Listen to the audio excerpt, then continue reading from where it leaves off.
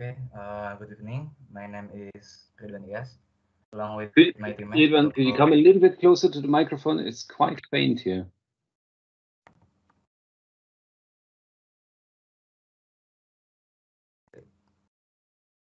Should be fine now.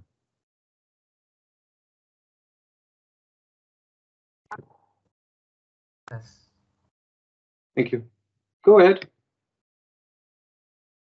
Okay, good evening. My name is Ridwan Iyas. Along with my teammate Cokro Wibowo we would like to present our findings in FIRST 2020 Mission Lithology. We are from Scorpion team and fresh graduate students from Universitas Gadjah Mada, Indonesia.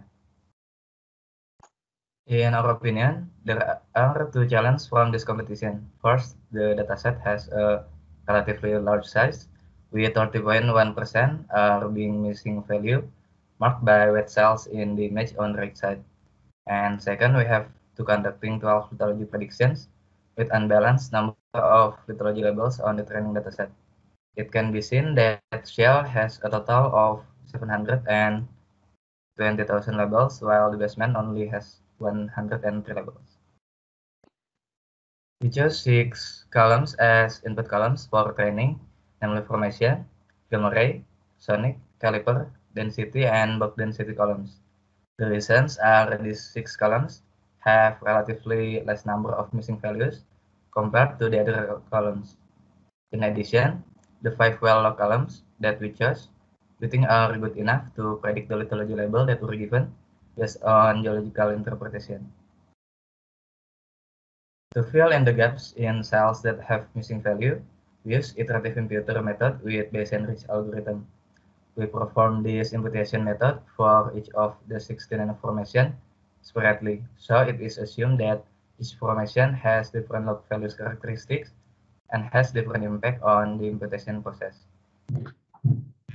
After filling in the missing values in the dataset, we perform a feature transformation by applying min-max scalar to all five well columns. Min-max scalar is used to normalize the values contained in the dataset based on each well column, so that each well column will have a value from scale of 0 to 1. The next step is we train the dataset to produce a machine learning model. We use all the data in training dataset with a train validation set ratio is 80 by 20. The algorithm we use are XGBoost and LikeGBM with cross-validation techniques to find the best combination of parameter values in the algorithm. The best results we got in this competition were using the LikeGBM algorithm with hyperparametric settings, hyperparameter settings as shown in the image on the right side. And we ranked 77 on the prediction leaderboard with score of negative 0.6134. The following is confusion matrix of the prediction results made on validation dataset. There are six lithologies that have a prediction rate above 75%, namely anhydrite, chalk, halite, sandstone, shale, and tuff. These are the lithologies that have a pretty bad prediction rate or below 75%, namely basement, coal, dolomite, limestone, marl, and sandstone shale. It can be seen that some of the lithologies marked with a red box other than the basement tend to be predicted as shale. This may be due to unbalanced number of lithology labels, where the shale labels alone total 720,000 labels, or about 61.5% in the training dataset.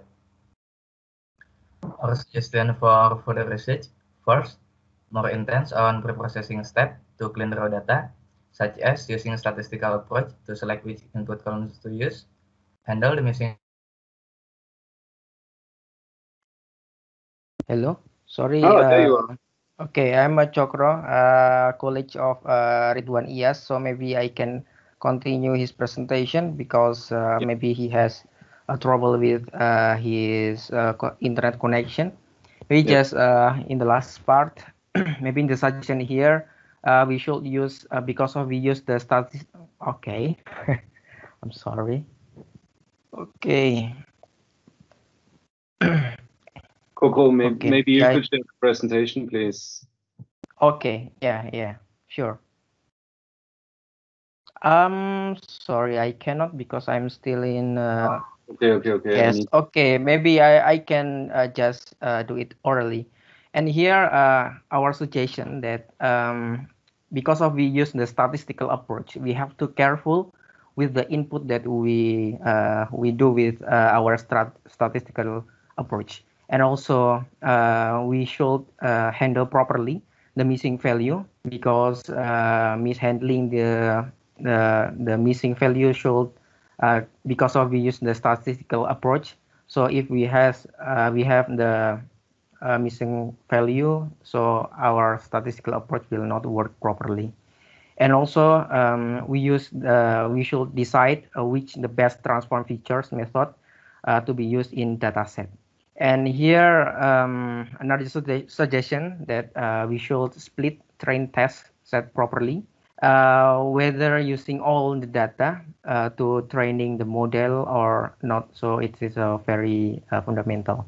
And the last one, uh, it is uh, it's important to using cross validation and model selection to select the best model and tune the hyperparameter intensively.